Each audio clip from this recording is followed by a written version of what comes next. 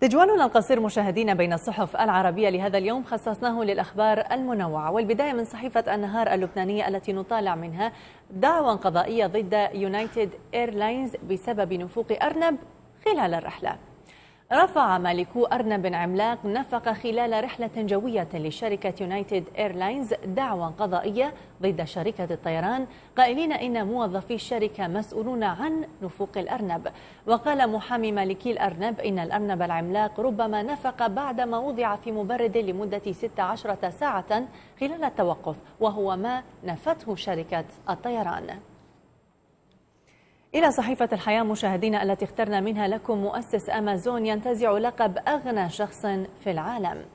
تصدر جيف بيزوس وهو المؤسس والرئيس التنفيذي لشركة أمازون قائمة أغنى رجل في العالم بثروة تصل إلى نحو 92 مليار دولار.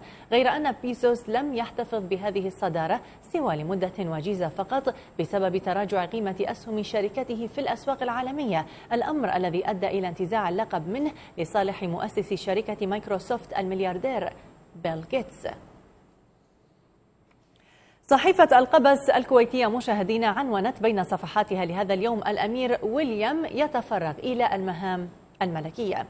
قرر الأمير ويليام الثاني في ترتيب خلافة العرش في بريطانيا التوقف عن العمل في إطار خدمة مروحيات إسعاف بعد سنتين شهد خلالهما مآسم مروعة لكي يتولى مهام مالكية بدوام كامل وسينهي دوك كامبريدج حياته المهنية القصيرة كقائد مروحية إسعاف في شرق إنجلترا خلال نوبة عمل ليلية ونقرأ مشاهدين من صحيفة البيان الإماراتية حاول فتح باب الطائرة في الجو فلقي جزاءه.